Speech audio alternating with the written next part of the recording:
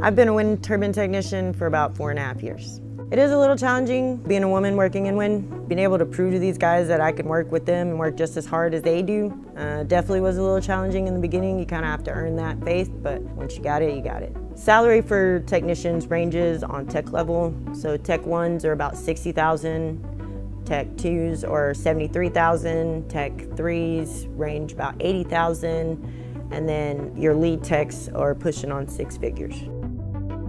I made about 73,000 in 2023 before taxes, and I made 68,000 after taxes.